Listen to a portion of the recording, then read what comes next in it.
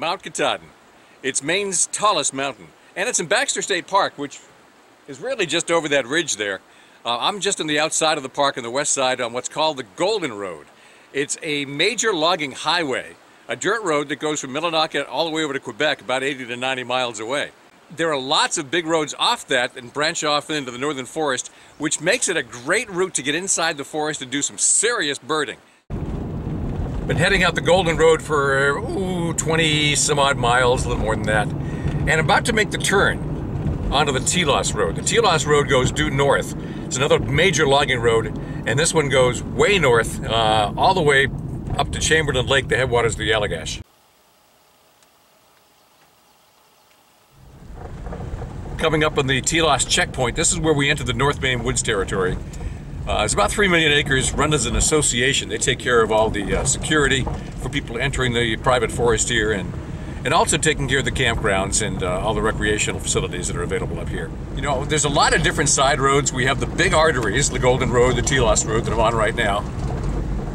We've got all these different arteries, but uh, the side roads all have their interesting distinguishing features you know, different habitats in different places. This is such a rich area. You get into Maine during the uh, songbird season, especially if you get up in the North Woods, and all the noise drives you crazy.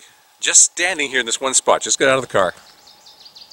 Northern water thrush, American redstart, blue-headed vireo, alder flycatcher. There's Swainson's thrush calling from just behind the edge of these bushes. Goes a yellow rump warbler.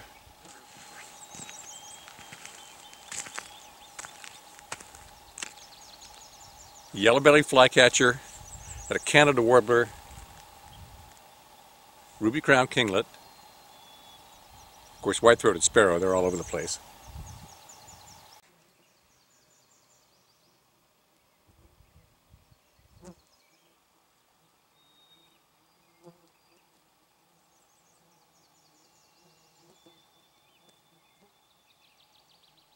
Well, that's kind of lucky. The uh, blackback woodpecker took over the nest from last year's American three-toed woodpecker.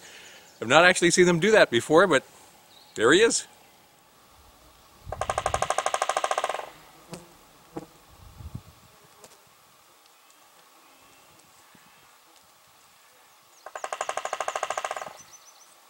This is black spruce. Black spruce likes its roots wet. It uh, tends to like cool, damp places, as opposed to uh, red spruce, which is all over the mountainsides and better drawing soil, and white spruce, which likes uh, sunny uh, edges. But black spruce is really gold for the boreal species that I always look for. Um, you can tell it because it is dark, but it's also like lollipops. Uh, most of the branches below the tops of the trees are pretty much denuded. And so once they get mature, there's a lot of foliage at the top, and then not much else. And uh, look for rough bark because uh, we have more balsam fir and that tends to be smooth barked. Spruce is rough barked. So when trees are dead and dying, that's what the woodpeckers want, black-backed and American three-toed, because there's a lot of grubs and stuff on a dead and dying tree. And so they'll flick the bark off that. And if it's recent damage, the bark underneath is going to be pretty red. Uh, it grays as it gets older. So if you find a lot of disturbance and the bark looks fairly fresh, that's what you're looking for for signs of blackback or three-toed woodpecker in the area. For instance,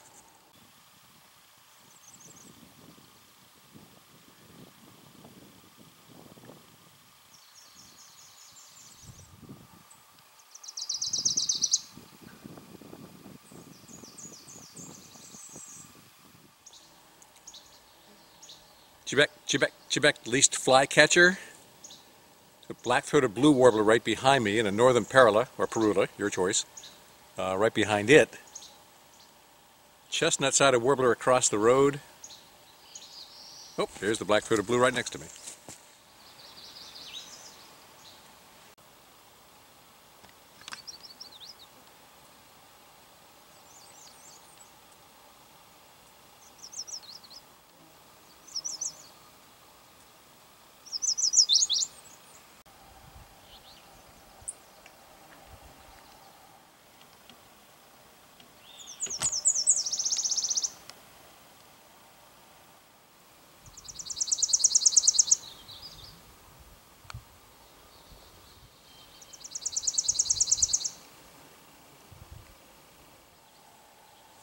My first time down this road. Good, mature black spruce. God, I love the Maine forest.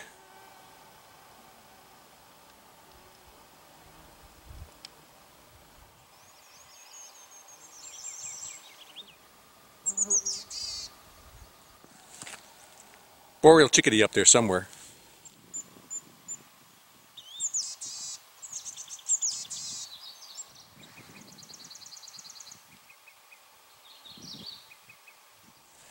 That's one of the things I really like is when I can hear olive-sided flycatcher and yellow-bellied flycatcher at the same time.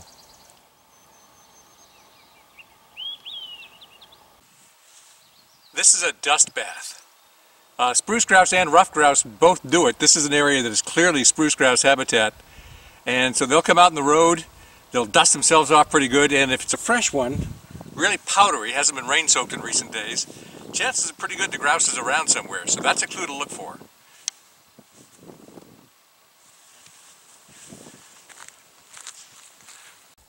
Spruce grouse, of course, are known for eating spruce needles. That's what they subsist on all winter. Once uh, spring and summer get here, their diet will vary just a little bit. They'll start eating more bugs, a little fruit when they can find it. Later in the year, they switch to tamarack. Tamarack, also called hackmatack or larch. It's this stuff, really feathery, all over the North Maine woods. It's a deciduous conifer, which means uh, about the beginning of November, this is going to turn bright yellow and drop its needles for the winter. Well, grouse love this in autumn, so Generally speaking, if you've got spruce, mossy forest floor, a good place for a dust bath, and tamarack, it's a good habitat for spruce grouse. Bear poop. Actually, over the last mile, this is the third pile I found in the road, which I guess answers the question about whether they do it in the woods.